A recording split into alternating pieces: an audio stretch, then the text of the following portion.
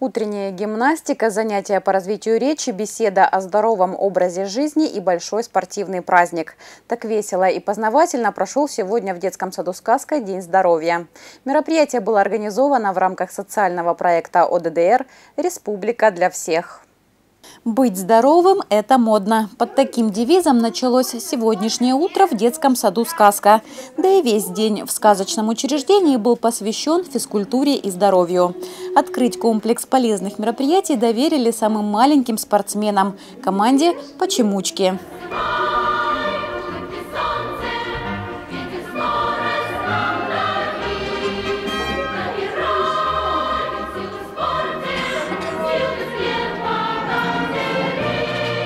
Готовились плодотворно, долго.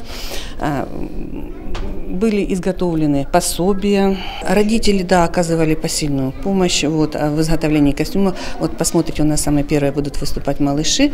Мы рискнули взять четвертый год жизни, они будут нам показывать утреннюю гимнастику. Дети, которые постарше, средняя группа, они будут показывать э, физкультурный, э, физкультурный праздник э, в гостях у «Зимушки зимы». Вот, там тоже подготовлена атрибутика. Пока почемучки делали свои первые шаги в спорте, их старшие товарищи из логопедической группы с помощью специальных упражнений занимались коррекцией речи. Ребята массировали чудо-шариками суджок свои ладошки, развивая при этом мелкую моторику и занимались дыхательной гимнастикой. Пятилетние капитошки поразили гостей своими познаниями в области медицины, рассказав, для чего нужны нашатырь, лейкопластырь и бинт, и умением вызвать скорую помощь.